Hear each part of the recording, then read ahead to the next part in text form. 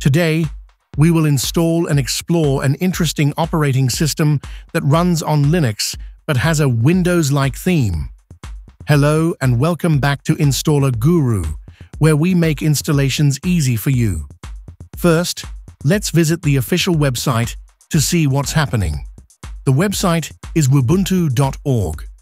I'm not sure what it is exactly, but it's called Wubuntu. This OS is an interesting choice for those who are not very familiar with the Linux environment. According to the website, Wubuntu is an Ubuntu-based operating system designed with themes and tools inspired by Microsoft Windows, but without unnecessary system requirements.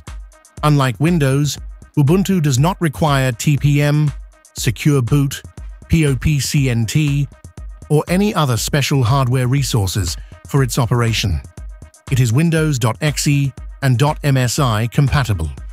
Thanks to an optimized Wine integration, Wubuntu can run several Windows applications without issues. Additionally, it supports Android apps and Play Store, making it a versatile OS. It is also optimized for older hardware, which is great for reviving old desktops or laptops.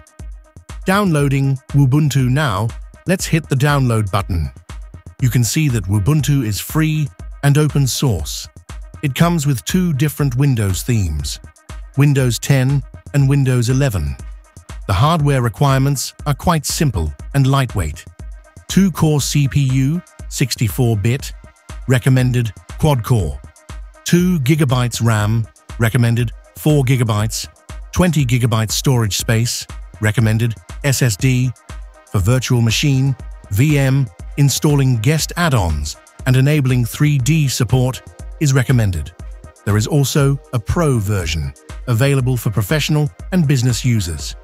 By donating $35, you get additional features and benefits. Today, we will install the free version on a virtual machine. Step 1. Download the ISO file from the official website. Step 2 we will use VirtualBox for virtualization and testing. You can try it on a virtual machine, or you can install it directly on an old PC or laptop. Now, let's create a new VM in VirtualBox. Click New, then enter the VM name and location. Select the ISO file. Allocate memory and disk space.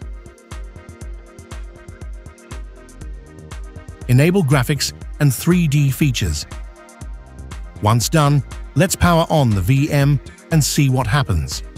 After some initial system checks, it starts with a demo Josh live environment, allowing us to test it before installing.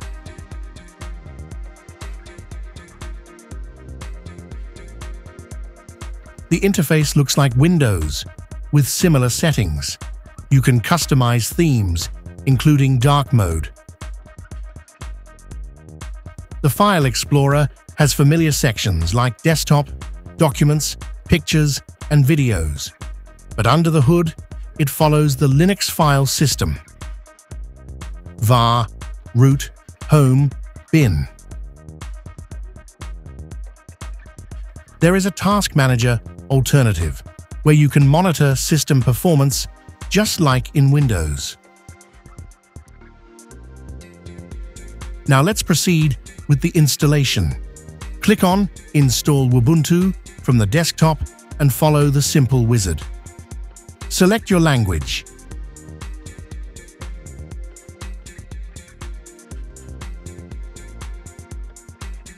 Choose your time zone, your location.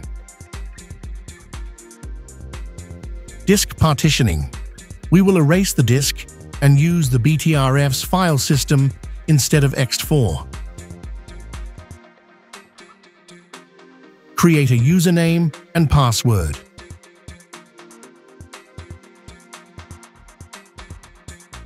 Click Install and wait. It will take some time, so grab a coffee. Once the installation is complete, reboot the system and Wubuntu is ready to use. Now that Wubuntu is successfully installed, let's explore. It comes pre-installed with Only Office, an alternative to Microsoft Office. Pre-installed apps include Snipping Tool, Notepad,